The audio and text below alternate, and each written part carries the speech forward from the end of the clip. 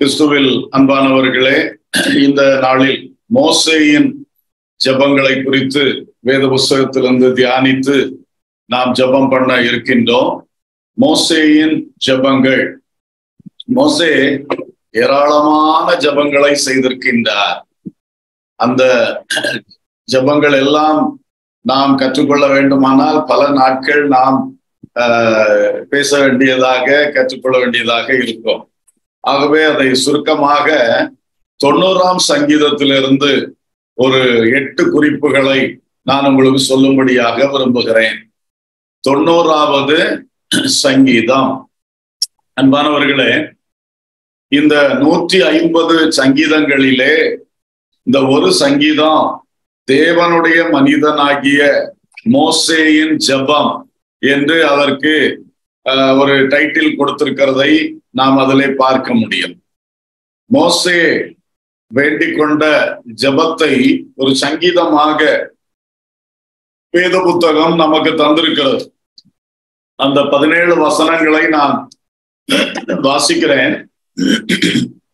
வாசிக்கும் பொழுது தயவு செய்து எல்லாரும் பைபிளை திறந்து சங்கீதம் தொண்ணூறு. ஆண்டவரே தேவரீர் தலைமுறை தலைமுறையாக எங்களுக்கு அடைக்கலமானவர். பர்வதங்கள் தோன்றும் முன்னும் நீர் பூமியையும் உலகத்தையும் உருவாக்கும் முன்னும் நீரே அனாதியாய் என்றென்றைக்கும் தேவனாய் இருக்கிறீர் நீர் மனுஷரை நிர்த்தூளி ஆக்கி மனுபுத்திரரே திரும்புங்கள் என்கிறீர். உமது பார்வைக்கு ஆயிரம் வருஷம் நேற்று கழிந்த நாள் போலவும் ராச்சாமம் போலவும் இருக்கிறது. அவர்களை வெள்ளம் போல் வாரி கொண்டு போகிறீர். நித்திரைக்கு ஒத்திருக்கிறார்கள். காலையிலே முளைக்கிற புல்லுக்கு ஒப்பாயிருக்கிறார்கள். அது காலையிலே முளைத்து பூத்து மாலையிலே அறுப்புண்டு உலர்ந்து போம். நாங்கள் உமது கோபத்தினால் அழிந்து உமது உக்கிரத்தினால் கலங்கி போகிறோம். எங்கள் அக்கிரமங்களை உமக்கு முன்பாகவும் எங்கள் அந்தரங்க பாவங்களை உமது முகத்தின் வெளிச்சத்திலும் நிறுத்தினீர். எங்கள் நாட்கள் எல்லாம் உமது கோபத்தால் போய்விட்டது. ஒரு கதையை போல் எங்கள் வருஷங்களை கழித்து போட்டோம். எங்கள் ஆயுசு நாட்கள் எழுபது வருஷம். பலத்தின் மிகுதியால் எண்பது வருஷமாய் இருந்தாலும் அதன் மேன்மையானது வருத்தமும் சஞ்சலமுமே. அது சீக்கிரமாய் கடந்து போகிறது. நாங்களும் பறந்து போகிறோம். உமது கோபத்தின் வல்லமையையும் உமக்கு பயப்படத்தக்க விதமாய் உமது உக்கிரத்தையும் அறிந்து கொள்ளுகிறவன் யார்? நாங்கள் ஞான இருதயம் உள்ளவர்கள் ஆகும்படி எங்கள் நாட்களை எண்ணும் அறிவை எங்களுக்கு போதித்தருளும் போதித்தருளும். கர்த்தாவே திரும்பி வாரும். திரும்பி வாரும். எது வரைக்கும் கோபமாயிருப்பீர் உமது அடியாருக்காக பரிதபியும் பரிதபியும். நாங்கள் எங்கள் வாழ்நாளெல்லாம் களி கூர்ந்து மகிழும்படி காலையிலே எங்களை உமது கிருபையால் திருப்தி ஆக்கும் திருப்தி ஆக்கும் தேவரீர் எங்களை சிறுமைப்படுத்தின நாட்களுக்கும் நாங்கள் துன்பத்தை கண்ட வருஷங்களுக்கும் சரியாய் எங்களை மகிழ்ச்சி ஆக்கும் மகிழ்ச்சி ஆக்கும் உமது கிரியை உமது ஊழியக்காரருக்கும் உமது மகிமை அவர்கள் பிள்ளைகளுக்கும் விளங்குவதாக விளங்குவதாக.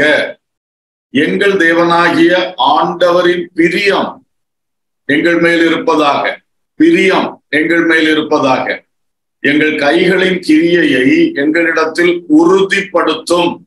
ஆம் எங்கள் கைகளின் கிரியையை எங்களிடத்தில் உறுதிப்படுத்தி அருளும். உறுதிப்படுத்தும் உறுதிப்படுத்தி அருளும்.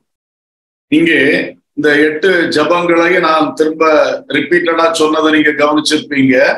பன்னெண்டாம் வசனத்திலிருந்து பதினேழு வரைக்கும் அந்த எட்டு ஜப வார்த்தைகளை முக்கியப்படுத்தி சொல்ல விரும்புகிறேன்.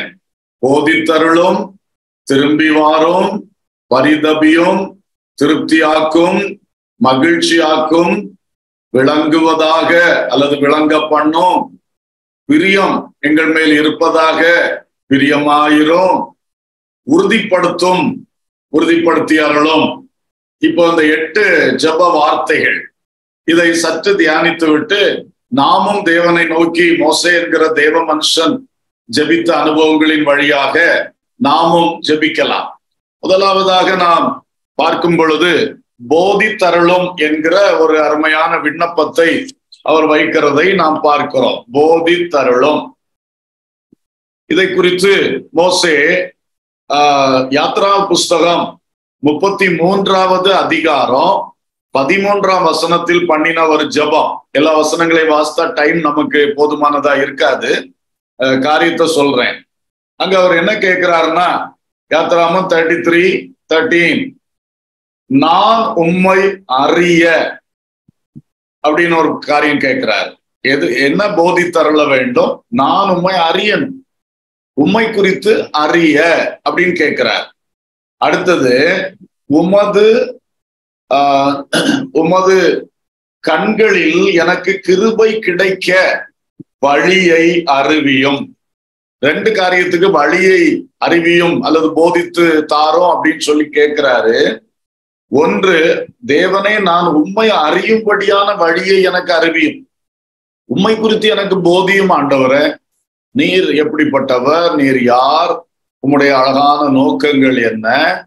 இதெல்லாம் குறித்து எனக்கு அடிக்கடி எனக்கு அதிகமாக எனக்கு டீச் பண்ணுங்க ஆண்டவரை. நல்ல ஜபம் அல்லவா? இன்னைக்கு நாமும் கத்தரிடத்துல கேட்க வேண்டிய ஒரு அழகான ஜபம். ஆண்டவரே இந்த உலகத்துல உங்களை நான் நல்லா அறியும். ஏன்னா இனி நித்தியத்துல நான் உங்களோட தான் வாழ போகிறேன். அதனால இப்பவுமே நான் உங்களை அதிகமா அறிகிறதற்கு எனக்கு டீச் பண்ணுங்க. அறிய வேண்டிய வழியை எனக்கு அறிவியும் அப்படி கேட்கிறார். அப்புறம் உமது கண்களில் எனக்கு கிருபை கிடைக்க வழியை எனக்கு அறிவியும் கேட்கிறார். நீங்க மகாபெரிய தேவன் உங்க கிருபை இல்லாம ஒண்ணுமே நடக்காது. அப்போ உங்க கண்களில் எப்போதும் எனக்கு ஒரு கிருபை கிடைக்கணும். அதனுடைய வழியை எனக்கு டீச் பண்ணுங்க ஆண்டவரை. இப்ப நான் எப்படி நடக்கணும்? எப்படி அந்த கிருபையை நான் பெற்றுக்கொள்ளணும்? உங்க கண்கள்ல எப்பொழுதும் கிருபை கிடைக்கத்தக்க ஒரு வாழ்க்கை நான் எப்படி வாழணும்? அது ஒரு நல்ல அனுபவமாக காணப்படுகின்றது. கத்திரவி ஸ்தோத்ரா இப்ப பாருங்கள் அவர் கேட்கிறது. இந்த காரியங்களை குறித்து கத்தட்ட கேட்கிறார்.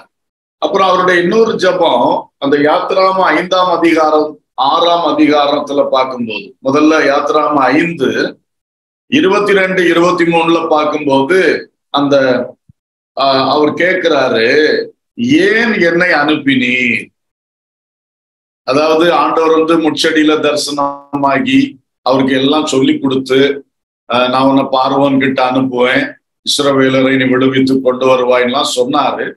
ஆனா போய் அங்க வந்து பார்வனோட டீல் பண்ணும்போது காரியம் அத்தனை எளிதா இல்லை. ரொம்ப டஃப்பா இருந்தது. அவனோட திரும்ப திரும்ப போய் போராட வேண்டியதா இருந்தது.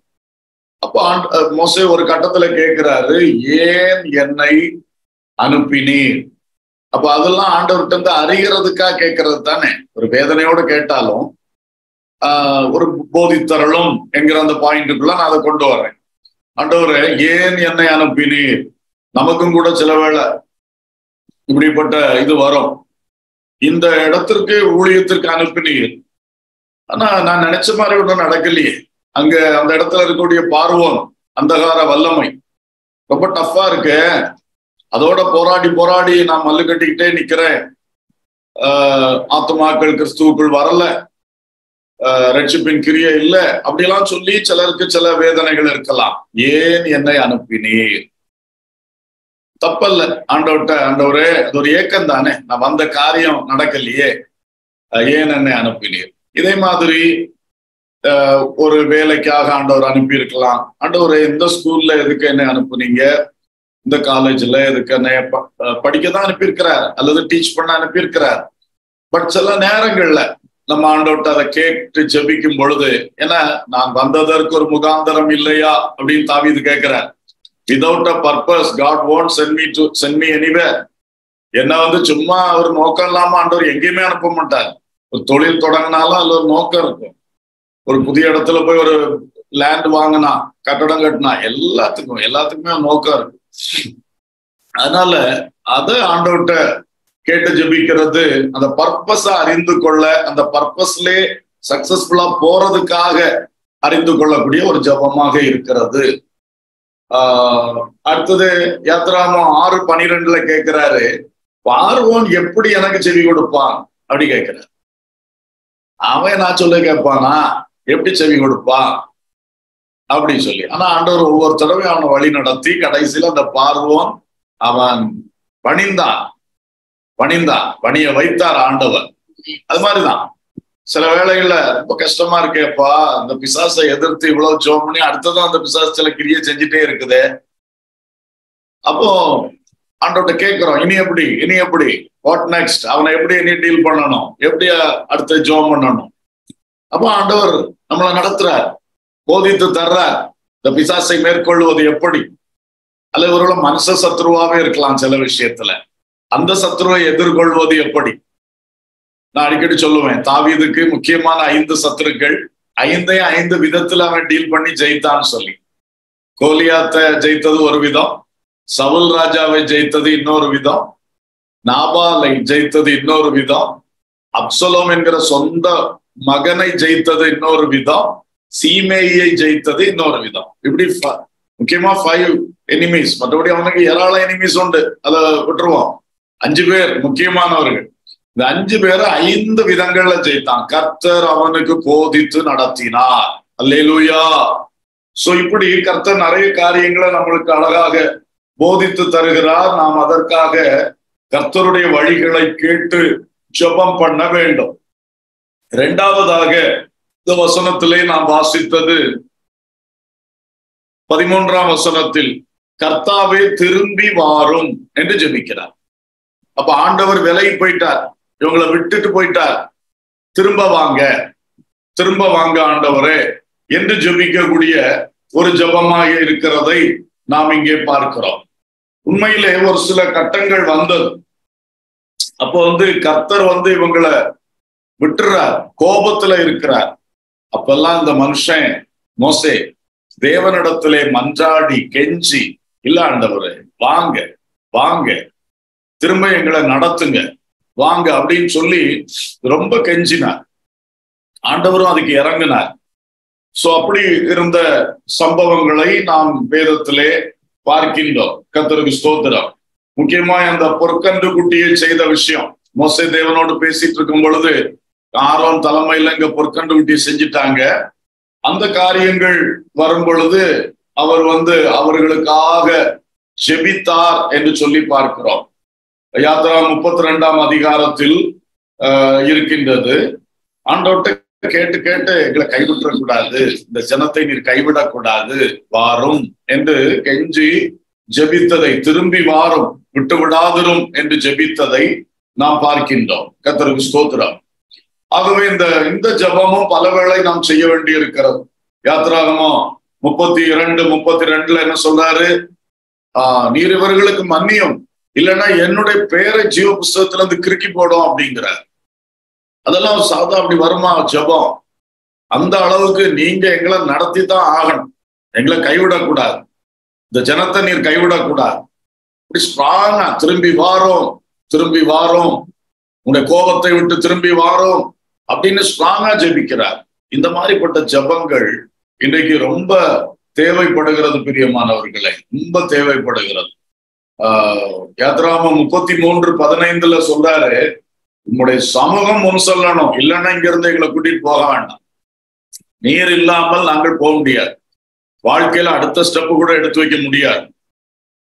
திரும்பி வாரம். அதுதான் அவருடைய ஒரே இது.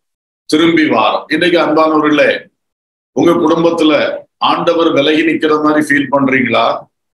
உங்க தனி வாழ்க்கையில கர்த்தர் கொஞ்சம் விலகி நிக்கிறாரோன்னு ஃபீல் பண்றீங்களா? உணர்றீங்களா? இந்த ஜபத்தை நல்லா ஏறடுங்க. இது கத்தரு பிரியமானது. ஆண்டவரே திரும்பி வாங்க. என்ன கைவிடக்கூடாது. என்னுடைய குடும்பத்தை நீங்க கைவிடக்கூடாது. நான் உண்மை பின்பற்றுகிற பிள்ளை. என்னிடத்துல என்ன குறை இருக்கு? மன்னியும் சொல்லும் உணர்த்தும். நான் திருந்துகிறேன். என்ன மன்னியும். ஆனா நீர் என்ன விடக்கூடாது. என்னை விட்டு நீர் போகக்கூடாது. என்று வைராக்கியமா ஜோமம். இந்த உபவாச நாட்களில் தேவ பிள்ளைகளே நல்லா பிரேயர் பண்ணுங்க. அந்த பழைய அற்புதங்கள் பழைய அந்த தேவ சமூக வாழ்க்கை பழைய வெற்றிகள் எது இல்லாம போச்சோ ஐயோ கத்தர் கைவிட்டாரோ இந்த கிதியோன்னு சொன்னான்ல எங்களோட முற்பிதாக்கள் சொன்ன அற்புதங்கள் எங்கே? கத்திரைகளை மறந்துட்டாரா விட்டுட்டாரா? அப்படியெல்லாம் ஒரு ஃபீலிங் இருந்தா ஐயோ என்னாச்சு இனி என்ன செய்ய? அப்படி இல்லை. திரும்பி வாருங்கப்பா திரும்பி வாருங்க. என்று சொல்லி அந்த மோசை ஜெபித்த மாதிரி நம்மளும் ஜெபிக்கணும். அப்புறம் மூன்றாவது பரிதபியும். அதே வசனத்துலதான். கத்தாவே திரும்பி வாரும். எதுவரைக்கும் கோபமா இருப்பீர். உமது அடியாருக்காக பரிதபி. பரிதபிச்சு இறங்கி வாங்கப்பா. பரிதபிச்சு. நாங்க உங்களை அழைச்சதுனால நீங்க கட்டாயம் நடத்தி தான் ஆகணும். அப்படி கூப்பிடல. பரிதாபம் உண்டு இறங்கி வாங்க. நாங்க தான் தப்பு செய்தோம். எப்பவுமே நாங்க தான் ஆஹ் தவறு செய்கிறோம். மன்னிங்க. இறங்கி வாங்க அப்படின்னு சொல்லி ஒரு பரிதபித்து ஜெபித்தார் அப்படின்னு பாக்குறோம் இதுல ஃபர்ஸ்ட் வந்து இது ஒரு ரெண்டு மூணு செக்ஷனா நான் உங்களுக்கு சொல்ல விரும்புறேன். ஃபர்ஸ்ட் வந்து பர்சனலா அவர் லைஃபுக்காக கூட அவர் இப்படி ஜோ பண்ணி இருக்கிறார் எனக்காக பரிதபியோன்னு ரெண்டு இன்சிடென்ட் நான் ஞாபகப்படுத்துறேன். எண்ணாகமும் பதினொன்றாம் அதிகாரத்துல பதினொன்றுல இருந்து பதினஞ்சு வரைக்கும் என்ன பண்றாருன்னா ஆண்டவரே இந்த பாரத்தை என்னால சுமக்க முடியாதப்பா. இந்த மக்கள் வந்து ஒரு வணங்கா கழுத்துள்ள ஜனங்கள். கீழ்படியவே மாட்டாங்க. தண்ணி கிடைச்சா குடிச்சிட்டு போவாங்க. தண்ணி இல்லாட்டா ஏன் மேல கல்ல தூக்கி வந்து வருவான் சாப்பாடு கிடைச்சா சந்தோஷமா இருப்பாங்க. அடுத்த நேரம் சாப்பாடு லேட் ஆச்சுன்னா ஏன் மேல கல்லறிட்டு நிற்பான் இப்படியே என்னால முடியாது. எனக்கு பரித என்ன பரிதாபமா பாரம் என்ன விட்டுறோங்க அப்படி ஜோம் பண்ணார் அது ஒரு இன்சிடென்ட் அது மாதிரி கடைசியில இந்த ஜனங்கள் செய்த தப்புனால கடைசியில அவருக்கு வந்த பரிதாபத்தை பாருங்க. காணானுக்குள்ள விடமாட்டேன்ட்டாரு கர்த்தர். அப்போ ஒரு ஜோம் பண்றாரு. உபாகமம் மூன்றாம் அதிகாரம் இருபத்தி மூன்றுல இருந்து ஆஹ் இருபத்தைந்து. ஆண்டவரே ஒரு தடவை உள்ள போறதுக்கு விடுங்கப்பா. ஒரு தடவை உள்ள போறதுக்கு அனுமதிங்கன்னு சொல்லி பர்சனலா அவருக்காக ஆண்டவர் பரிதபிக்கணும்னு டூ டைம்ஸ் ஜோ பண்ணியிருக்காரு. நமக்கும் இந்த சுச்சுவேஷன்ஸ் வரும். ஒரு பக்கம் நீங்க பல காரியங்கள்ல நல்ல ஜெயமுள்ளவங்களா இருக்கலாம். இருந்தாலும் சில இடங்கள் அப்பா எனக்கு இறங்கு எனக்கு இறங்கும் நெகைமே அடிக்கடி ஜோம் எல்லாம் செஞ்சுட்டு சொல்லுவாரு கடைசியில எனக்கு நன்மை உண்டாக என்னை நினைத்தருளும் அப்படின்னு ஒரு வார்த்தை சொல்லுவார். பர்சனலா என்ன நினைச்சிடுங்கப்பா? என்ன எனக்கு இறங்குங்க நான் உங்களுக்காக நிக்கிறேன் உங்க ஜனத்துக்காக நிக்கிறேன். எனக்கு இறங்குங்க அப்படின்னு சொல்லி அந்த பர்சனலா ஒரு பரிதவியப்பா என்று சொல்லி ஜபிக்கிற ஒரு நல்ல ஜபத்தை நாம் அங்கே பார்க்கிறோம். கத்தருக்கு ஸ்தோத்திரம். ஆகவே முதலாவது அப்படி. அடுத்தது பாருங்க ஆஹ் சில சில நபர்களுக்காக அவர் ஜோம் பண்ண ஜபம் இருக்கு பாருங்க. முக்கியமா மிரியாமுக்காக. மிரியாமுக்காக எண்ணாகமும் பனிரெண்டு பதிமூணுல ஜோம் பண்றாரு. பாவம் இறங்கிருங்க. ஏன்னா அந்த மிரியாம் ஆண்டவர் குஷ்டரோகி ஆகிட்டார் இதே மோசைக்க மனைவியை பற்றி பேசுனதுனால. ஆனா அவர் தான் அதுக்கும் கெஞ்சி கூப்பிடுறாரு. பரிதவியம் பரிதவியம் அப்படின்னு சொல்லி பர்சனலா தனக்காக கேட்டாரு. இன்னொரு சமயத்துல அடுத்த ஒரு நபருக்காக கேட்டிருக்கிறாரு. அடுத்தது மூன்றாவதாக அதுல பார்க்கும்போது ஆஹ் அவர் வந்து சபைக்காக என்று சொல்லி இரக்கம் கேட்டிருக்கிறார். சபைக்காக என்று சொல்லி இரக்கம் கேட்டிருக்கிறாரு. அது முக்கியமா அந்த யாத்ராமம் முப்பத்தி ரெண்டு அந்த பொற்கன்று குட்டி விஷயத்திலும் அதிகமாக சபைக்கு இறங்க வேண்டும் என்று சொல்லி அவர் கேட்டிருக்கிறார். அதே போல எண்ணாகமம் இருபத்தி ஒன்றுல அவர் அதற்காக அந்த மன்னாவை வெறுத்து அவங்க பேசின பொழுது கொள்ளிவாய் சர்ப்பம் அந்த இடத்துலயும் அவர் பேசியிருக்கிறாரு. வேவுக்காரருடைய துர்ச்செய்தியினால சபை தள்ளாடின பொழுதும் எண்ணாகமும் பதினான்காம் அதிகாரத்துல சபைக்காக அவர் மன்றாடி இருக்கிறாரு இது மாதிரி நிறைய இடங்கள்ல சபைக்காக இப்ப பர்சனலி தனக்காக பரிதவியும் கேட்டிருக்காரு. இண்டிவிஜுவலா ஒவ்வொருத்தருக்காக மிரியாம் போன்ற ஒவ்வொருத்தருக்காக ஜோம் பண்ணியிருக்காரு பரிதவியம்னு. அப்புறம் வந்து டோட்டல் சர்ச்சுக்காக ஜோம் பண்ணியிருக்காரு. அதையும் கடந்து பொதுமக்களுக்காக. எகிப்துல இந்த வாதை வரிசையா வந்துட்டு இருந்த பொழுது ஒவ்வொரு தடவையும் திரும்ப பார்வம் சொல்லுவான். சரி இந்த ஒருத்தரை மன்னிச்சிருங்க அவங்க ஆண்டோட்ட போய் வேண்டிக் கொள்ளுங்கன்னு. வந்து ஜெயிப்போம் ஆண்டவரே இந்த ஜனங்களுக்கு இறங்கும். யாத்திராம எட்டு பனிரெண்டுல தவளை வாதை மாறும்படி. யாத்திராம எட்டு முப்பதுல வண்டு ஜாதிகள் மாறும்படி. யாத்ராம ஒன்பது முப்பத்தி மூணுல கல் மழை நிற்கும்படி. அப்புறம் பத்து பதினெட்டுல வெட்டுக்கிளி மாறும்படி. இப்படி ஒவ்வொன்றுக்கும் பொதுவான மக்களுக்காக எகிப்தியருக்காக சேர்த்து ஜோம் சோ பிறருக்காக பரிதபித்து ஜெபிக்கிற ஜபம். கர்த்தரும் சொல்றார் நான் நினைவைக்காக பரிதபியாமல் இருப்பேனோ? அப்படி சொல்றார். சோ அந்த பரிதபிக்கிற தேவனிடத்திலே நாமும் அவருடைய அந்த பரிதாபத்தை பெற்றுக்கொள்ள இரக்கத்தை பெற்றுக்கொள்ள நமக்காக மற்றபடி தனிப்பட்ட மனுஷர்களுக்காக சபைக்காக பொதுவாக தேசத்தின் மக்கள் உலகத்தில் உள்ள மனுக்குலம் எல்லாருக்காக ஜெபிக்க கடமைப்பட்டிருக்கிறோம். சரி. நான்காவதாக திருப்தி ஆக்கும் பதினான்காம் வசனம். சங்கீதம் தொண்ணூறு பதினான்கு. நாங்கள் எங்கள் வாழ்நாளெல்லாம் கலிகூர்ந்து மகிழும்படி காலையிலே எங்களை உமது கிருபையினால் திருப்தி ஆக்கும் என்று கேட்கிறார். திருப்தி. மனிதனுடைய தேவைகள் சந்திக்கப்படும் பொழுது அவனுக்கு திருப்தி உண்டாகும். ரெபிதீம் என்கிற இடத்துல யாத்திராம பனிரெண்டு நான்கிலே தண்ணீருக்காக மோசை கத்தரை நோக்கி கூப்பிட்டார்.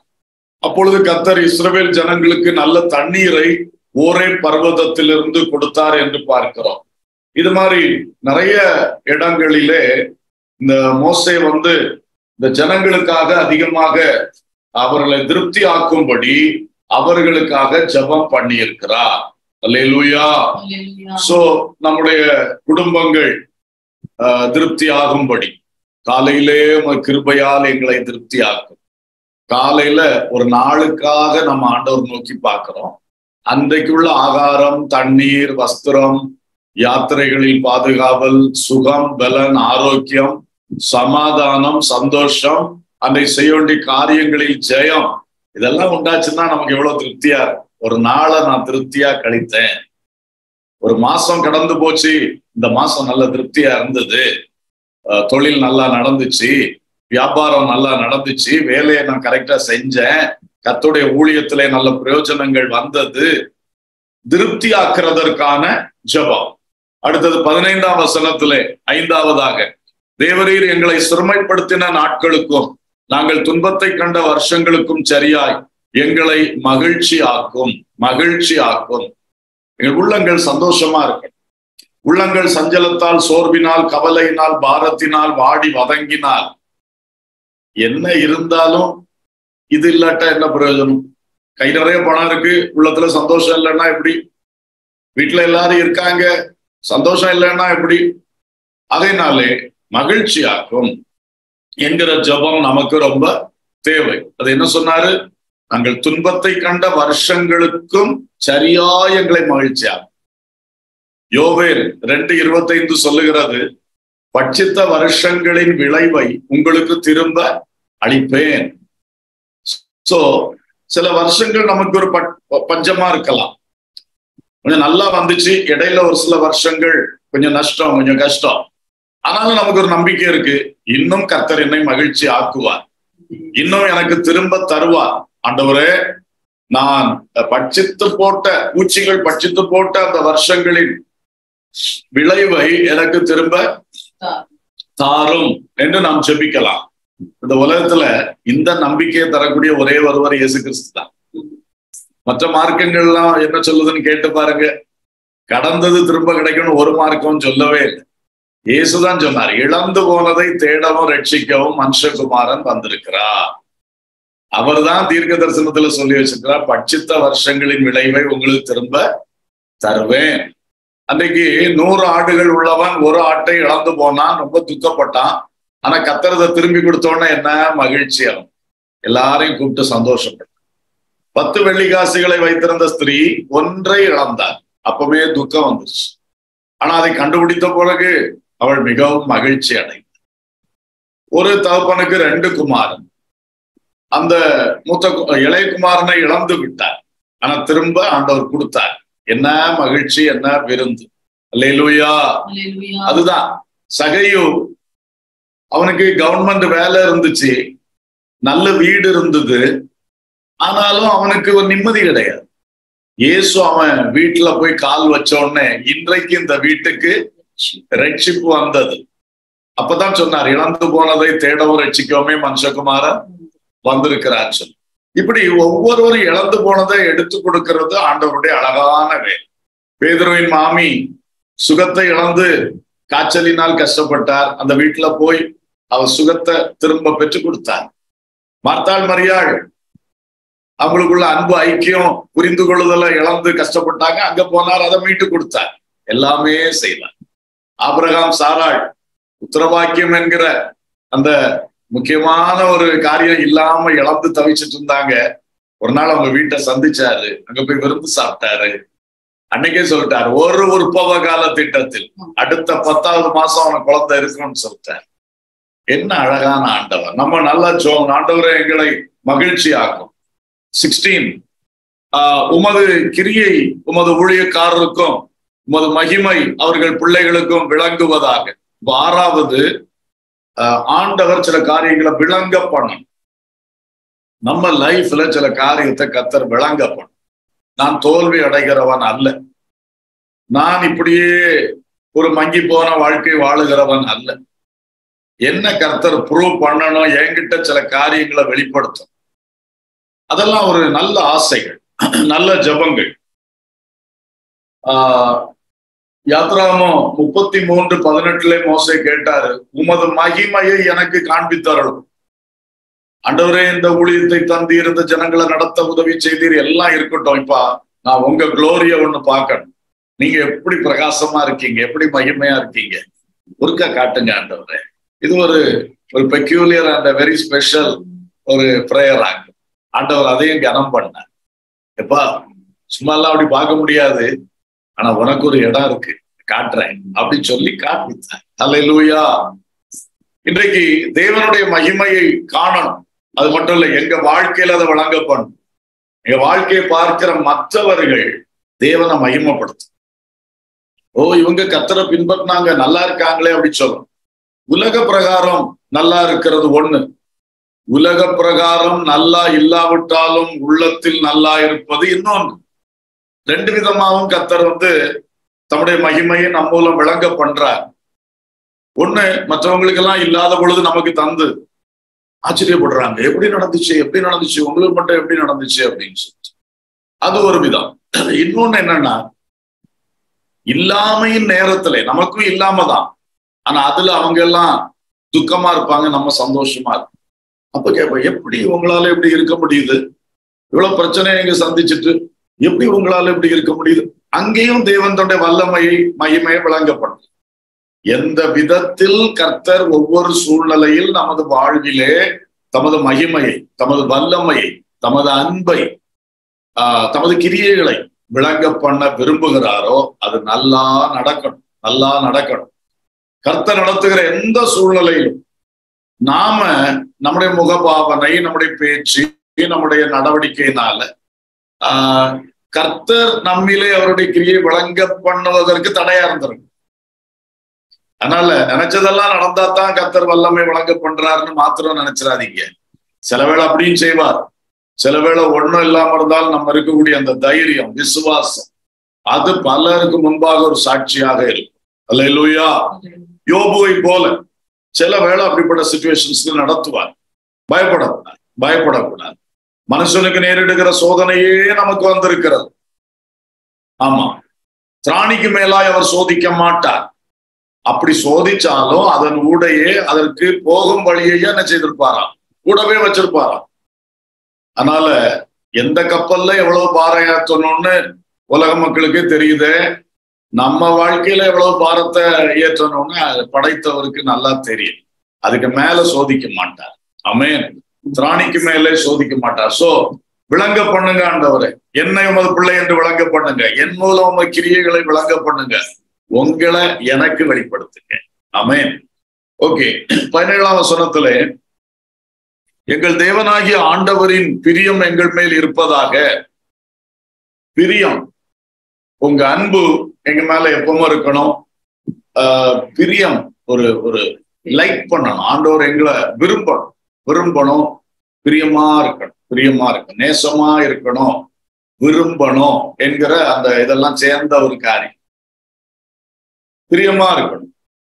என்னதோ இவன் இவனை நடத்தணும் அப்படின்னு ஆண்டவர் நினைச்சிருக்கு என் பிள்ளை இவனை நல்லா நடத்தணும் அப்படின்னு ஆண்டவர் நினைக்கிற அளவுக்கு அந்த பிரியம் என் மேல் இறங்கி கொண்டே இருக்கணும். என் வாழ்க்கையில இறங்கி கொண்டே இருக்கணும். அதுதான் கத்தருக்கு ஸ்தோத்திரம். பாருங்கள் அந்த பிரியம் நன்றாக இருக்கணும். எப்ராஹிம் ஆண்டவரை விட்டு விலகி நிற்கும் பொழுது அவர் என்ன பேசினாரு? இவனை நான் எப்படி கைவிடுவேன்? இவனுடைய இளவயதின் பக்தியை நான் அறிந்திருக்கிறேன் அப்படின்னு சொன்னேன் அப்ப எப்ராஹிம் இப்பொழுது ஆண்டவர் பிரியமா இல்லை. ஆனா அவர் அந்த இளம் வயசுல அவன் எவ்வளவு எனக்கு பிரியமா இருந்தா பக்தியா இருந்தா அவனுடைய இளவயதின் பக்தியை நான் அறிந்திருக்கிறேன் அப்படின்னு சொன்னார். அது ஒரு அனுபவம். ஆனா அது நல்ல ஒரு இது இல்லை.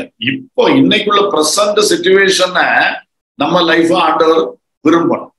ஓ எவ்வளவு நல்லா இருக்கிறான். பிரியப்படம் பிரியப்படம் சோ அந்த பிரியம் எங்களுக்கு உண்டாகட்டும். அதுக்கேற்ப நாங்களும் வாழணும் என்று ஜெபிக்கிறோம். கடைசியாக பதினேழாம் வசனத்தின் அடுத்த பகுதி எங்கள் கைகளின் கிரியையை எங்களிடத்தில் உறுதிப்படுத்தும். ஆம் எங்கள் கைகளின் கிரியையை எங்களிடத்தில் உறுதிப்படுத்தி அருளும். ரெண்டு தடவை கேட்கிறார். கைகளின் கிரியையை உறுதிப்படுத்தும். ஆண்டவரே நான் ஒன்றை செய்தால் அது உறுதியானதா இருக்கணும். அது பிரயோஜனமற்றதா போகக்கூடாது ஆண்டவரே. நான் ஒன்றை செய்தால் அதுல ஒரு ஒரு என் கிரியையை நீர் உறுதிப்படுத்தணும். ஒரு தொழிலை தொடங்குறீங்க. கொஞ்ச நாள் நடத்திட்டு அப்புறம் அதை விட்டு மாற்று தொழில் மாற்று தொழில். உறுதிப்படலையே. இன்னைக்கு ஜோம் பண்ணணும் கர்த்தாவே எங்கள் கைகளின் கிரியையை எங்களிடத்தில் உறுதிப்படுத்திய. விவசாயம் செய்யறவங்க இருக்கிறீங்க. நீங்க நடுறது நல்ல பலனை தருதா? ஒருவேளை அப்படி இல்லாம இருந்தா அண்டவரை என்னுடைய கையின் கிரியை கைகளின் கிரியை என்னிடத்துல உறுதிப்படுத்தும் அப்பா பல ரூபத்துல இருக்கிறது இல்லையா? நம்ம எந்த ப்ரொஃபஷன்ல நீங்க இருக்கிறீங்க? என்ன வேலை செய்றீங்க? அதுக்காக ஜோம் பண்ணணும். நான் செய்யறது பிரயோஜனமா? ஒரு டீச்சரா இருக்கிறோமா?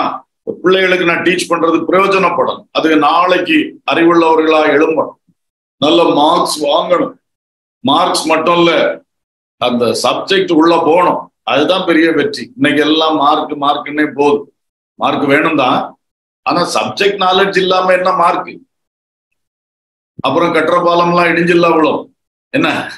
அதனால அதான் டீச்சிங்குடைய காரியம். நான் டீச் பண்ணேன்னா என் பிள்ளைகளுக்கு அதை உறுதிப்படுத்தும் உறுதியா. அதே மாதிரி ஊழியம் செய்யறேன்னா ஆத்மாக்களை ஆதாயம் பண்றது உறுதிப்படுத்தப்படும் உறுதிப்படுத்தப்படும். அவங்க நிலையில இருக்கணும். அவங்க இயேசுக்கா வளர வாழணும். அவங்க இயேசுவின் வருகையிலே இயேசுவை சந்திக்கணும். அது முக்கியம். இல்ல வெறும் எண்ணிக்கையை கூட்டிக்கிட்டு இருக்கேன். வந்துட்டே இருக்காங்க ஒரு பக்கம் போயிட்டே இருக்காங்க. எப்படி எண்ணிக்கை ஒண்ணு ரெடி ஆகிட்டு இருக்கு? ஆஹ் இவ்வளவு பேர் வாராங்க. அது எண்ணிக்கை வேணும். பட்டு uh, நம்ம உறுதிப்படுத்தணும் உறுதிப்படுத்தணும். நான் செய்யறதெல்லாம் உறுதியா இருக்கு. கட்டின கட்டடம் ஐயா மேசன்ஸ் இன்ஜினியர்ஸ் கான்ட்ராக்டர்ஸ் இங்க கட்டுற கட்டடம் உறுதியா நிக்கணும். எல்லாம் நேர்த்தியா இருக்கணும். எதை நம்ம செய்தாலும் நம்முடைய கைகளின் கிரியை கர்த்தர் உறுதிப்படுத்த வேண்டும். இந்த பக்கமா கட்டிட்டு அந்த பக்கமா இடிஞ்சு சரிஞ்சு விழுந்துருச்சுன்னா எப்படி இருக்கும்? எல்லாவற்றிலும் எல்லாவற்றிலும். ஆண்டவர் அந்த அற்புதத்தை அந்த கிரியை நமக்கு செய்வாராக. மோசையின் ஜபம் ஏராளம். அவர் ஒரு மேன் ஆஃப் பிரேயர் நிறைய ஜபங்கள் பண்ணினவர். நம்ம சுருக்கமா பார்த்தோம். இப்பொழுது கொஞ்ச நேரம் தேவ சமூகத்திலே உங்களுக்கு நான் இப்ப சொன்னப்போ எதெல்லாம் உணர்த்தப்பட்டுச்சோ உங்க லைஃபோட ரிலேட்டடா சம்பந்தமா எதெல்லாம் இருந்துச்சோ கொஞ்சம் அதை நீங்க மனம் திறந்து ஜெபிக்கும்படி அன்போடு கேட்கிறேன். சிலர் குடும்பமா இருப்பீங்க சிலரோடு சேர்ந்து உட்கார்ந்து கேட்டுட்டு இருப்பீங்க. அப்போ சத்தம் போட்டு எல்லா விஷயம் சொல்லி ஜெபிக்க முடியாட்டாலும் அந்த மாதிரி விஷயங்களை மனசுக்குள்ள வச்சு கண்டிப்பா இப்ப ஜெபிக்கணும். மற்றபடி கொஞ்சம் வாய் திறந்து ஜெபிக்கக்கூடியதுல சேர்ந்து வாய் திறந்து ஜெபிங்க. இப்ப எல்லாம் சேர்ந்து நாம் ஜோம் பண்ணுவோம். ஹalleluya praise the lord praise the lord praise the lord. முதலாவது அந்த ஒன்றாவது காரியத்துக்காக நாம ஜோம் பண்ணுவோம். ஆண்டவரே போதி தரணும் teach me O Lord teach me O Lord guide me O Lord ஹalleluya ஹalleluya தேவனே எனக்கு நீங்க போதிக்கணும். ஆமே பரிசுத்த ஆவியானவர் நல்ல போதக இயேசு கிறிஸ்து நல்ல போதக ஆமேன். அந்த டீச்சிங் எங்களுக்கு அதிகமா வேணும் ஆண்டவரே. டெய்லி பேசிஸ்ல எங்களுக்கு அந்த உங்களுடைய போதனைகள் எங்களுக்கு வேணும். நீங்க பைபிளை வச்சு எங்களுக்கு படிச்சு தரீங்க. ஆவியானவர் எங்க உள்ளத்துக்குள்ளே எங்களுக்கு சொல்லி தர்றீங்க வாழ்க்கையின் அனுபவங்களை வைத்து வைத்து ஒவ்வொரு நாளும் எங்களுக்கு படிச்சு தரீங்க. நிறைய காரியங்கள் மூலம் எங்களுக்கு டீச் பண்றீங்கப்பா. அந்த டீச்சிங் நல்லா இருக்கணும். நாங்களும் அதை கற்றுக்கொள்ளணும் பெற்றுக்கொள்ளணும். ஹalleluya உண்மை அறியணும். உம்முடைய வழிகளை நாங்கள் அறிய வேண்டும். ஆமீன். உம்முடைய கண்களில் எங்களுக்கு கிருபை கிடைக்கின்ற அந்த வழியை நாங்கள் அறிய வேண்டும். ஆமேன். அந்த ரட்சிப்பின் வழியை சரியாய் அறிய வேண்டும். அறிய வேண்டும். அப்பா இன்றைக்கு இந்த ரட்சிப்பின் வழி சகோதரமாரே நாங்கள் ரட்சிக்கப்படுவதற்கு என்ன செய்ய வேண்டும்? என்று அன்றைக்கு கேட்ட பொழுது பேதுருவை கொண்டு சொல்லிக் கொடுத்தீர். மனம் திரும்புங்கள். ஞானஸ்நானம் பெறுங்கள். பரிசுத்தாவியின் வரத்தை பெறுங்கள். விட்டு விலக வேண்டியதை விட்டு விலகி உங்களை ரட்சித்துக் கொள்ளுங்கள். ஆவியோடு உண்மையோடு ஆராதிக்கும் ஆராதிக்கிற கூட்டாண்மையிலே சேர்ந்து அப்போ சில உபதேசத்தில் அந்யோன்யத்தில் அப்பம் பிட்குதலில் ஜபத்தில் உறுதியாய் தரித்திருங்கள்னு கரெக்டா அப்படி பாயிண்ட் பாயிண்டா நீங்க டீச் பண்ணினீங்க ஆவியானவரே. அதே மாதிரி ஒவ்வொருவருக்கும் டீச் பண்ணுங்கப்பா டீச் பண்ணுங்கப்பா கைடு பண்ணுங்கப்பா. கொர்நேலு வீட்டுக்கு தூதனை அனுப்பி பேதருவுக்கு அட்ரஸ் அவன் கையில கொடுத்து போ ஆட்களை அனுப்பி அந்த ஊழியக்காரனை கூப்பிட்டு அவன் சொல்ற சத்தியத்தை கேட்டு அதன் வழி நடன அழகான ஒரு கைடன்ஸ் கொடுத்தீங்க. பேதுரு வந்து அருமையா டீச் பண்ணாரு. அவருடைய பிரசங்கம் முடிகிறதற்குள் மக்கள் பரிசுத்த ஆவியை பெற்றார்கள். பிரசங்கம் முடிந்த உடனே எல்லாரும் முழுகி ஞான ஸ்நானம் எடுத்தார்கள். எவ்வளவு அழகா இருக்கிறது. இன்னைக்கு அப்படிப்பட்ட ஒரு சரியான டீச்சிங் அண்ட் கைடன்ஸ் வேணும். வாழ்க்கை குறித்த போதனைகள் எங்களுக்கு வேண்டும். இந்த யாக்கோபுக்கு ஆடு மேய்க்கிறதுக்கு கூட எப்படி என்று தேவதூதனை அனுப்பி சொல்லி கொடுத்தீங்களாமே ஆண்டவரே. எங்களுக்கு தொழில் விஷயமாவும் சொல்லித்தாங்கப்பா வேலை விஷயமா சொல்லித்தாங்கப்பா மனோபாவம் மனைவியும் கேட்டார்கள். எங்களுக்கு நீங்க சொன்னபடி பிள்ளையை தரும்போது இந்த பிள்ளையை நாங்கள் எப்படி வளர்க்க வேண்டும்? அதே போல பிள்ளை வளர்க்கிற டீச்சிங்கும் எங்களுக்கு தாங்கப்பா. எல்லாம் எங்களுக்கு தாங்கப்பா. எங்களை போதித்து நடத்தும் ஆண்டவரே போதித்து நடத்தும் ஆண்டவரே. ஹாலெலூயா ஹாலெலூயா போதித்து நடத்தும் போதித்து நடத்தும் அப்பா. உடைய நல்ல கரத்தில் ஒப்பு கொடுக்கிறோம் இயேசுவின் நாமத்தில் பிதாவே. ஆமே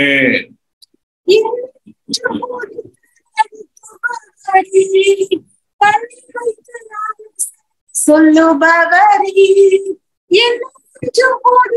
நடத்துபவரி. கண்ணை வைத்து ஆலோசனை சொல்லுபவரி நடக்கும் வழி தனை காட்டுபவரை நம்பி வந்தோனை கிருபை சூழ்ந்து கொள்ளுமே. நடக்கும் வழி தனை காட்டுபவரை நம்பி வந்தோனை கிருபை சூழ்ந்து கொள்ளுதே. ஆடைக்கலமே உமதடிமை நானே. ஆர்ப்பரிப்பேனே ஆக மகிழ்ந்தேன் நீ செய்த நன்மைகளை நித்தம் நித்தம் நான் நினைப்பேனே. ஆமே பிரைஸ் தி லார்ட் அன்பானவர்களை இப்பொழுது செகண்ட் அண்ட் தேர்ட் பாயிண்ட்டுக்காக ஜோம் பண்ணுவோம். ஆண்டவரே திரும்பி வாரும் பரிதவியும் என்று சொல்லி கத்தரிடத்துல எல்லாரும் சேர்ந்து நாம் மன்றாடுவோம். எங்கள் பிதாவே இந்த வேளையில் நாங்கள் ஏகோபித்து இந்த இணைப்பில இணைந்திருக்கிற ஒவ்வொரு தனிநபருக்காய் குடும்பங்களுக்காக சபையாருக்காக நாங்கள் தேவ சமூகத்தில் ஜெபிக்கிறோம் ஆண்டவரே.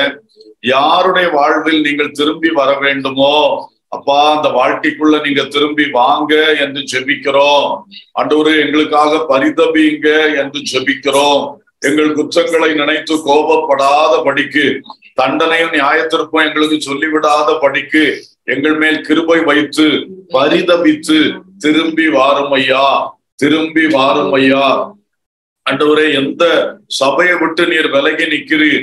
அந்த சபைக்கு நீங்க திரும்ப வரணும்ப்பா உங்க மகிமை அந்த சபையில இறங்க வேண்டும். உங்க கிரியைகள் அந்த சர்ச்சில உண்டாக வேண்டும். ஆமேன். எந்த குடும்பத்தை விட்டு சற்று விலகி நிக்கிறீங்களோ கோபமா இருக்கிறீங்களோ இயேசுவே இந்த ராத்திரி வேளை ஜபத்திலே என் அன்பு தகப்பன் கிருபையாயிரும் கிருபையாயிரும் என்று வேண்டிக் கொள்ளுகிறோம். ஆமேன். பாவியாகி என்மேல் கிருபையாயிரும் என்று அந்த ஏழை மனிதன் ஜெபித்த பொழுது ஆண்டவரே அந்த ஆயக்காரனுக்கு நீங்க இறங்குனீங்களே அப்பா. இறங்கின தேவன் அல்லவா? ஆமேன். ஸ்தோத்திரம். அந்த பொல்லாதவனாகிய ஆகாபு கூட ஒரு சமயம் தன்னை உங்களுக்கு முன்னதாக தாழ்த்தின பொழுது அவனுக்காக கூட பரிதாபம் கொண்டீங்களே அப்பா. எல்லா மனித உள்ளங்களுக்காக நீங்க பரிதாபப்படுகிற தேவன் நாங்கள் ஆண்டவரை இந்த சூழ் இந்த நேரத்திலே ஒருவேளை அறிந்தோ அறியாமலோ அப்பா வெளியே தெரியும் விதத்திலோ மறைமுகமாகவோ எந்த காரியத்துல உங்களுக்கு கோபம் ஊட்டி கொண்டிருந்தாலும் அதை உணர்த்தி தாரும் ராஜா. அதை திரு அதிலே திருந்துவோம் என்று சொல்லி உங்களை நோக்கி பார்க்கிறோம் ஆண்டவரே. எங்கள் உள்ளங்களை நாங்கள் திறந்து வருகிறோம் ஆண்டவரே. அப்பா பரிதபியும் திரும்பி வாரும். பரிதபியும் திரும்பி வாரும். ஆமேன். ஸ்தோத்திரம். உங்களுடைய மகிமை உங்களுடைய பிரசன்னம் உங்களுடைய கிரியைகள் அந்த குடும்பத்திலே திரும்பி வரட்டும் அப்பா. யோபு சொன்னார் ஆஹ் தேவனுடைய ரகசிய செயல் என் கூடாரத்தின் மேல் இருந்தது என்று சொன்னார். ஓ நான் இருளை கடந்து போனேன் என்று சொன்னார். அதுபோல இருந்த குடும்பங்களிலே இன்றைக்கு எந்த குடும்பத்திலே அந்த தேவனுடைய ரகசிய செயல் இல்லாமல் போய்விட்டது? எந்த குடும்பத்திலே அந்த தேவனுடைய அற்புதங்கள் இல்லாமல் போய்விட்டது இன்றைக்கு திரும்ப வரட்டும். இன்றைக்கு கர்த்தர் திரும்பி வாங்க. திரும்பி வாங்க திரும்பி வாங்கப்பா. ஹாலே லூயா ஹாலே லூயா ஹாலே லூயா என் ஆண்டவர் திரும்பி வரும்படியாக வேண்டிக் கொள்ளுகிறோம். திரும்பி வரும்படியாக வேண்டிக் கொள்ளுகிறோம். இசைக்கியல் தீர்க்க தரிசனத்திலே கர்த்தருடைய ஆலயத்தை விட்டு கர்த்தருடைய மகிமை விலகி போயிற்று என்று படிக்கிறோம். ஆனால் அந்த ஆலயம் செப்பனிடப்படும் பொழுது மறுபடியும் அந்த மகிமை வந்து தங்கியிருக்கும் என்று படிக்கிறோம். ஹalleluya அதே போல சபைகள் எந்த ஒரு லோக்கல் சர்ச்சை விட்டு கர்த்தருடைய மகிமை விலகி இருக்கிறதோ இந்த ராத்திரி மந்தாடி வேண்டிக் கொள்ளுகிறோம். என் தகப்பனை ரட்சிக்கப்படுகிறவள் கூடுகிற ஒவ்வொரு சபைகளிலும் தேவ மகிமை திரும்பி வரட்டும். தேவன் திரும்பி மாறும் உமது ஜனத்திற்காக பரிதாபம் கொள்ளும் என்று கெஞ்சி மன்றாடி ஜெபிக்கிறோம் தகப்பனே. நிச்சயமா இந்த விண்ணப்பத்தை கேளும். ஒவ்வொரு தனிநபர் வாழ்க்கையிலே குடும்பங்களிலே சபைகளுக்குள்ளே கிரியை செய்யும். அது மட்டுமல்ல தேசவாசிகள். ஆமேன் ஆண்டவரை அவள் செய்கிற பொல்லாத கிரியைகளினாலே விக்கிரகாராதனைகள் வேசித்தனங்கள் ஆமேன் பொய்கள் லஞ்சங்கள் ஊழல்கள் எத்தனை எத்தனை மோசங்கள் அப்பா. இப்பொழுது பயங்கர சோதோமின் பாவங்கள். ஆமேன் எல்லா பயங்கரங்கள்னால கர்த்தருடைய கோபம் கர்த்தருடைய கோபம். ஆண்டவரை தொடர்ந்து கோபப்படாதபடி நீதி செலுத்தாதபடி என் தகப்பன் இரக்கம் செய்து மனுக்குலத்துக்கு இரக்கம் செய்து பரிதவித்து திரும்பி வாரும். நன்மை செய்யும் என்று வேண்டிக் கொள்ளுகிறோம். உங்க வல்லமை உள்ள நல்ல கரத்தில் நாங்கள் ஒப்பு கொடுக்கிறோம். இயேசுவின் நாமத்தில் பிதாவே ஆமே லேலுயா லேலுயா ஸ்தோத்திரம். அடுத்ததாக நாம் அந்த நான்கு ஐந்து ஆகிய ரெண்டு விஷயங்களுக்காக ஜோம் பண்ணுவோம். எங்களை திருப்தியாக்கும். எங்களை மகிழ்ச்சியாக்கும் என்று ரெண்டு காரியங்களுக்காக தேவ சமூகத்தில் ஜபம் பண்ண போகிறோம். நாங்கள் எங்கள் வாழ்நாளெல்லாம் கலிகூர்ந்து மகிழும்படி காலையிலே எங்களை உமது கிருபையால் திருப்தியாக்கும். தேவரீர் எங்களை சிறுமைப்படுத்தின நாட்களுக்கும் நாங்கள் துன்பத்தை கண்ட வருஷங்களுக்கும் சரியாய் எங்களை மகிழ்ச்சியாக்கும். நல்ல ஆண்டோட்ட கேட்போம். தேவனே எங்களுக்கு இறங்கும் அப்பா. எங்களை நீர் திருப்தியாக்க வேண்டும். மகிழ்ச்சியாக்க வேண்டும். ஆண்டவரே உமக்கு ஸ்தோத்திரம். அந்த சாட்டிஸ்பாக்சன் அண்ட் ஜாய் எங்கள் வாழ்க்கையிலே நிரம் நிரம்பி இருக்க வேண்டும் கர்த்தாவே. ஆமீன். காலையிலே திருப்தியாக்குங்க. காலையில உங்களை நோக்கி பார்க்கிற கிருபையை தாங்க காலையிலே அந்தந்த நாளுக்குரிய கிருபையினால் எங்களை திருப்தி ஆக்கும் இரவு உங்களை நோக்கி பார்க்கும் பொழுது ஸ்தோத்திரங்கள் ஏறெடுக்க நன்றிகள் ஏராளமாய் சொல்லத்தக்க வண்ணம் திருப்தியாக்கி நடத்தும். இது ஒரு நாளுக்கல்ல. வாழ்நாளெல்லாம் உம்மில் மகிழ்ந்து கழிகூர்ந்திருக்கும்படி உமது கிருபையால் காலைதோறும் எங்களை திருப்தி ஆக்குங்கப்பா திருப்தி ஆக்குங்கப்பா என் தகப்பனே திருப்தியற்ற உள்ளங்களை திருப்தி ஆக்கும் என்று செபிக்கிறோம் ஹalleluya. தேவைகளை சந்திக்கிற ஏகோவா ஈரே. ஆகாரமும் தண்ணீரும் வஸ்திரமும் அடிப்படை தேவைகளும் எல்லாவற்றையும் எல்லா குடும்பங்களுக்கும் தந்து எல்லா தனி நபர்களுக்கும் தந்து திருப்தி ஆக்கும் என்று செபிக்கிறோம் அப்பா ஸ்தோத்திரம். ஏற்ற வேளையில் ஏற்ற துணையை தந்து ஆமையன் விவாகம் நடத்தி வைத்து வாழ்க்கைகளை திருப்தி ஆக்கும் ஆண்டவரே ஏற்ற நேரத்தில் புத்திர பாக்கியத்தை கொடுத்து வாழ்க்கைகளை திருப்தி ஆக்கும் ஆண்டவரே. ஆமேன் பிள்ளைகளுக்கு நல்ல கல்வி வாய்ப்புகளை தந்து திருப்தி ஆக்கும் அப்பா. என் தகப்பனே வேலை வாய்ப்புகள் தொழில் வாய்ப்புகள் ஒவ்வொரு குடும்பங்களுக்கும் நேர்த்தியாய் தாரும். உம்மை தேடுகிற பிள்ளைகளை குறைவில்லாம நடத்துகிற தேவன். சிங்க குட்டிகள் தாழ்ச்சி அடைந்து பட்டினியா இருக்கும். கர்த்தரை தேடுகிறவர்களுக்கோ ஒரு நன்மையும் குறைபடாது. ஒரு நன்மையும் ஒரு நன்மையும். அந்த வார்த்தையை சொல்லி நாங்கள் வேண்டிக் கொள்ளுகிறோம். இன்னைக்கு வேலை இல்லாமல் கஷ்டப்படுகிறவர்களுக்கு வேலை வாய்ப்பை தாரும் அப்பா. பொருளாதாரத்திலே கஷ்டப்படுறவர்களுக்கு நல்ல பொருளாதார ஆசீர்வாதங்களை கொடுங்கப்பா. கடன் பாரங்களை மாற்றுங்கப்பா. சிக்கல்கள் மாறட்டும் ஆண்டவரே. ஓ ஹால லூயா திருப்தியாக்கி நடத்தும். திருப்தியாக்கி நடத்தும். குடும்பங்களுக்குள்ளே நல்ல திருப்தி உண்டாகட்டும். கணவன் மனைவி உறவிலே திருப்தி உண்டாகட்டும் ராஜா. திருப்தி உண்டாகட்டும். பிள்ளைகள் பெற்றோர் உறவுக்குள்ளே திருப்தி உண்டாகட்டும். சகோதர உறவுகளுக்குள்ளே திருப்தி உண்டாகட்டும். ஒரு வீட்டுக்குள்ள இருக்கிற அத்தனை பேரும் திருப்தி உள்ளவர்களா இருக்கட்டும். சிலருக்கு எது கிடைச்சாலும் திருப்தி இருக்காது. அந்த திருப்தி அச்ச மனப்பான்மையும் மாற்றி தரும்படி செபிக்கிறோம் அந்த எது கிடைத்தாலும் அடுத்து ஏதோ ஒன்று இல்லை. அதை நினைச்சு நினைச்சு நினைச்சு அப்படியே அங்கலாய்ப்புக்குள்ள இருக்கக்கூடிய திருப்தியற்ற மனப்பான்மைகளையும் மாற்றி போட வேண்டும் அப்பா. காலை லூயா ஆண்டவர் கிரியை செய்ய அது போல எல்லா உள்ளங்களை மகிழ்ச்சி ஆக்குங்க ராஜா. மகிழ்ச்சி ஆக்குங்க ராஜா. மகிழ்ச்சி இல்லாவிட்டால் சோர்ந்து வாடி தளர்ந்து போவோமே ஆண்டவரே. மகிழ்ச்சி இல்லாவிட்டால் எல்லா நோய்களும் வந்து சரீரத்துல பிடித்துக் கொள்ளுகிறது. மகிழ்ச்சி இல்லாவிட்டால் மனதிலே ஆத்திரம் வருகிறது. மனதிலே சோர்வுகள் வருகிறது. அவையினாலே என் அன்பின் ஆண்டவர் எல்லா உள்ளங்களை மகிழ்ச்சி ஆக்கும் அப்பா. கர்த்தருக்குள் மகிழ்ச்சியா இருப்பதே உங்கள் பலன் என்று சொன்னீரே. ஆபத்து காலத்தில் சோர்ந்து போவாயானால் உன் பலன் குந்தினது என்று வசனம் சொல்லுகிறது. ஆகவே சோர்வை எடுத்து போட்டு மகிழ்ச்சியினால் நிரப்புங்கப்பா உலகத்திலே உள்ள காரியங்கள் நடக்கும் பொழுது மகிழ்கிறோம். அது இல்லாத பொழுது மகிழ்ச்சி போய்விடுகிறது. ஆனால் எங்களுக்குள் எப்பொழுதும் ஜீவ ஊற்றாய் இருக்கிற பரிசுத்த ஆவி நிமித்தம் எப்போதும் மகிழ்ந்திருக்க கிருபை செய்யும் அப்பா கிருபை செய்யும் அப்பா.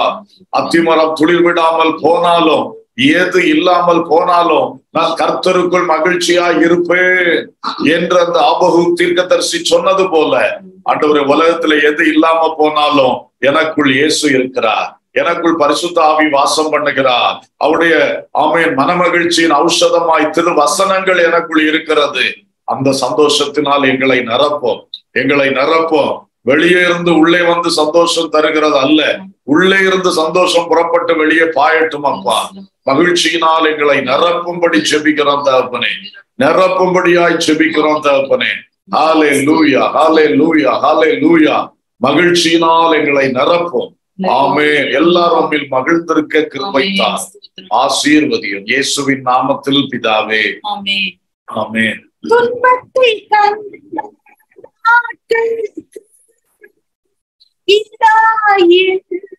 மகிழ செய்யும் துன்பத்தை கண்ட நாட்களுக்கு ஈடாக என்னை மகிழச் செய்யும் நல்லவரீ வல்லவரி நன்றி ஐயா நாள் முழுதும் வாழ்நாளெல்லாம் களி கூர்ந்து மகிழும்படி திருப்தியாக்கும் கிருபையினால் காலை தோறும் களி கூர்ந்து மகிழும்படி திருப்தியாக்கும்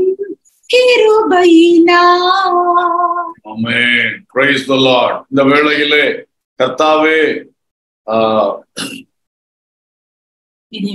விளங்க பண்ணும் என்று சொல்லி ஜெபிக்க போறோம். உமது கிரியை உமது ஊழியக்காரருக்கும் அது மகிமை அவர்களின் பிள்ளைகளுக்கும் வழங்குவதாக எங்களுக்கும் எங்கள் பிள்ளைகளுக்கும் விளங்க பண்ணோம். எங்கள் மூலம் பிறருக்கு விளங்க பண்ணோம். அப்புறம் ஆண்டவருடைய பிரியம் எங்களுக்கு உண்டாகட்டும். எங்கள் கிரியைகளை உறுதிப்படுத்தும் என்று சேர்ந்து ஜெபிப்போம். பல்லவ பிதாவே அப்பா இந்த வேளையில் நாங்கள் ஏகோபித்து ஆண்டவரே எங்களில் விளங்க செய்ய வேண்டியதை எங்களில் விளங்க செய்யும் அப்பா. எங்களுக்கு எதை விளங்க பண்ணணுமோ அதை விளங்க பண்ணுங்க.